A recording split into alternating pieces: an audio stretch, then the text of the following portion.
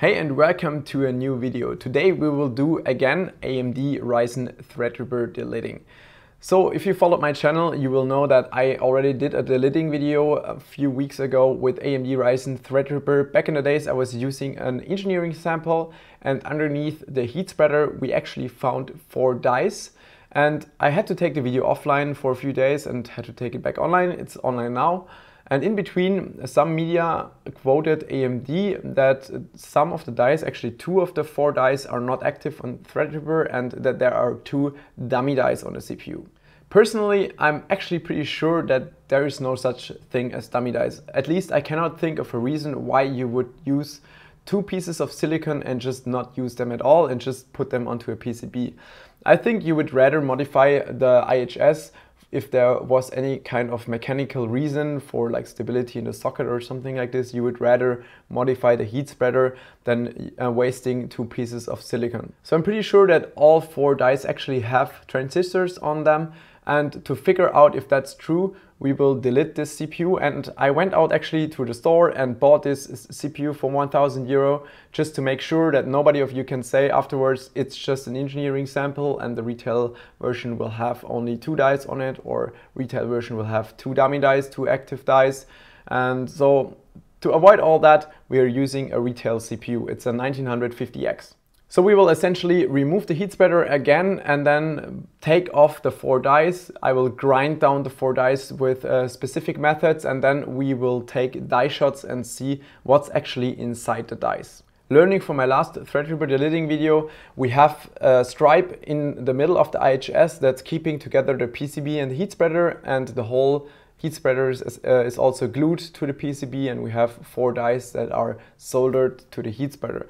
I want to make 100% sure that the heat spreader or while taking off the heat spreader we're not damaging the CPU so we're actually using a special Delid Die Mate for this CPU. So I grabbed some pieces of aluminium, used my CNC mill, drilled a lot of holes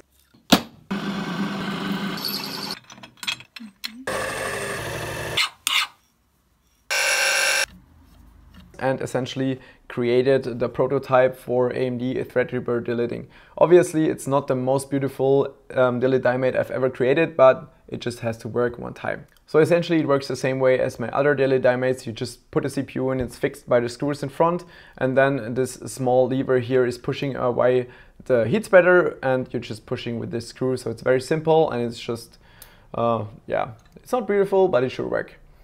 So I will put the rice Ryzen Threadripper inside the Delid Die Mate and then put it in the oven at like 180 degrees Celsius for maybe a half an hour and check the temperature of the IHS to make sure everything is nice and warm. So we're actually melting the indium inside the uh, heat spreader, the one, uh, the, the indium which is sticking together the dies with the heat spreader. And then we should only um, actually we will only push against the glue, which should make the delidding very easy and also quite safe. And we're not bending the CPU again, and we're probably not killing any dies. So I will be back in a bit, and then we will take a look underneath the heat spreader. So I'm finally back and I have time to work on this video. Took me like two or three weeks because of all the Gamescom stuff in between. So finally back on this video. So um, the last uh, situation was that I wanted to delid my CPU, so I used uh, the Delid Die Mate for Threadripper and put the CPU inside and put all this together in the oven at like 220 degrees Celsius and I left it in there for about 45 minutes. I kept checking the temperature of the die, actually uh, kept checking the temperature of the IHS with the thermometer and once it hit roughly 170 degrees Celsius, I took everything out of the oven, put it here on the table and slowly started with the delidding. I noticed that, that, there is like almost no force needed at all to push the IHS away. That's mainly because all the solder was liquid at that point and I only had to work against the glue. So eventually I took off the IHS using a knife and then I left everything here overnight because it was actually very, very hot stuff. And on the next day, I took the CPU again and I started cleaning the CPU or the dies itself with a knife from the unnecessary indium residues.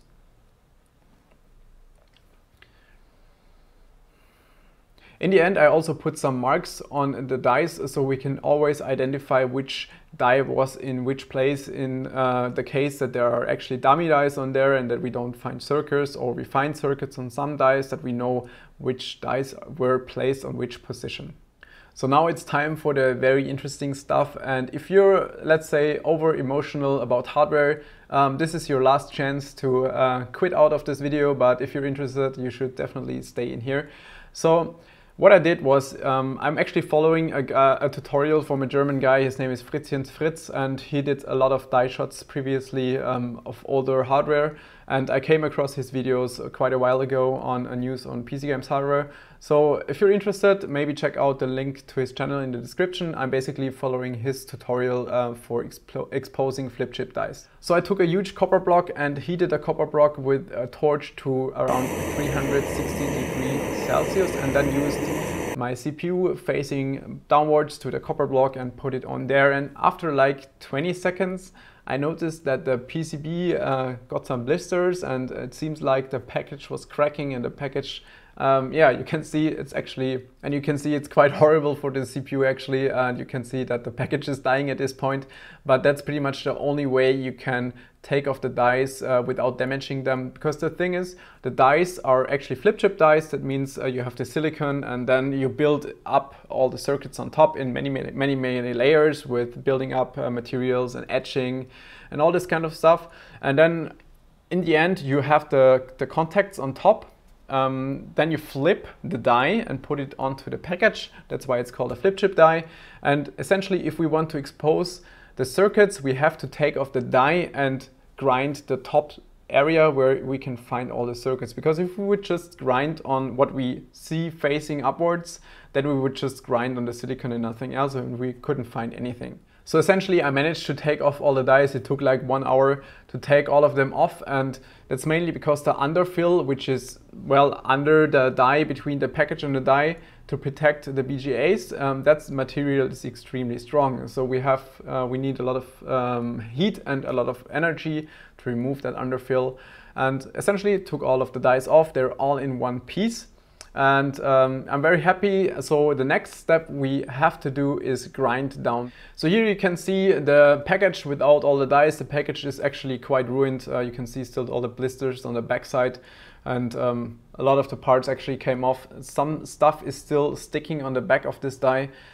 So I have to use this die, this is actually die number four, and use some uh, aluminium oxide lapping materials to remove the residues on the back and then essentially use some 9 micrometers and 3 micrometers uh, diamond lapping materials to polish down the dies so we can expose the circuits.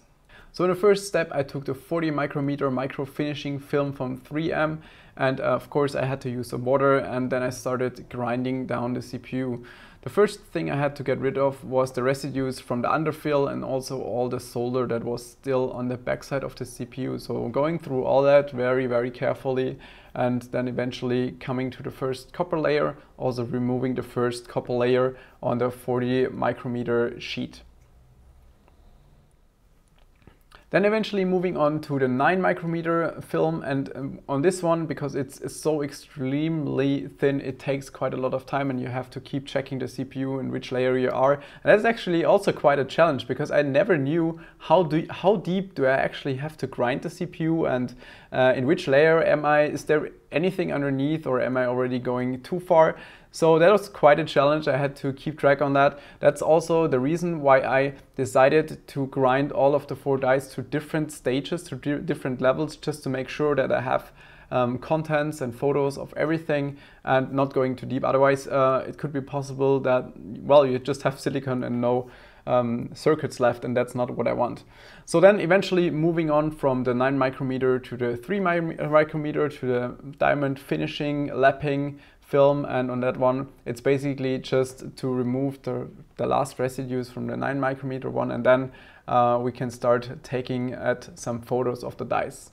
So here we have the dies and well as expected we have four dies with eight cores on each die.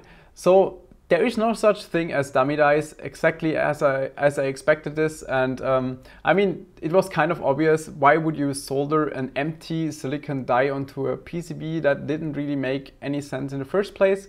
So here we have um, the proof. We have a 32 core CPU um, the 1950X um, I think that the 1920X and like the 8 core 12 um, core they should all be uh, 32 cores as well.